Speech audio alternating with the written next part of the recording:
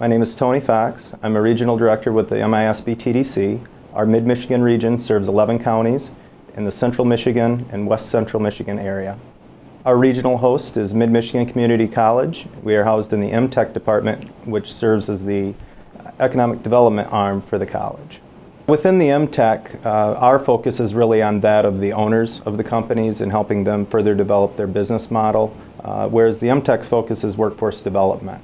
So coupled together, we have a nice package of offerings in, in, in, these, in the space of economic development.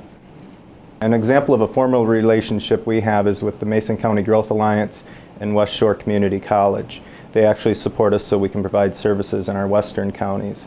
In addition to that, informally, we also work with a variety of economic development corporations, chambers of commerce, um, universities such as CMU and, and Ferris State University, as well as community colleges through our large geographic area. One piece of recognition that we, we received was sort of informal, uh, but it was pretty telling, I think. Uh, it, it was a, a group put together to look at the assets that are available to area entrepreneurs. And frequently, the respondents indicated that one of their greatest assets is connectivity to the Small Business and Technology Development Center, which I, I felt good about. I believe we have a real opportunity to help our clients access capital going forward. We have very talented staff in place, coupled with a proven delivery structure.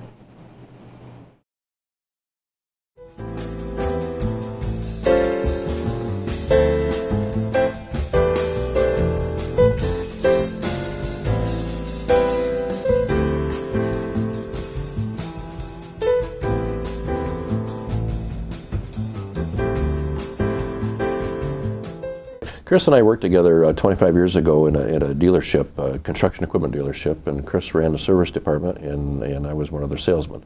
And I've been in the business for, uh, this started my 40th year in the construction equipment business. Started his own business, Mid Michigan Equipment uh, Sales. Uh, I bought my own business, Tri County Equipment Repair. And together, um, looking over the last several years for something unique. Found a company out on um, Ottumwa, Iowa, which is Aljon Manufacturing, and they manufacture uh, large landfill compactors.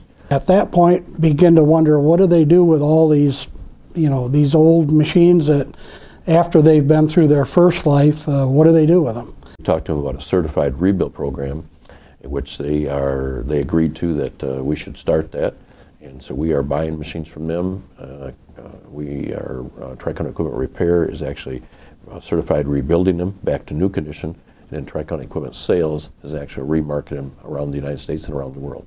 You know, we see some of our competition and other companies packing up and leaving Michigan. Uh, we're very fortunate that we're be able to stay here and and keep our people employed and uh, not have to move out of state. What we're seeing is these customers are really loyal to Aljon because they are the best machine made for the purpose.